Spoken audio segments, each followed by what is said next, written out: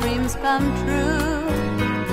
And the story of tomorrow is the one we write today. So after all, it's up to me and you. We are told that life is what we make it.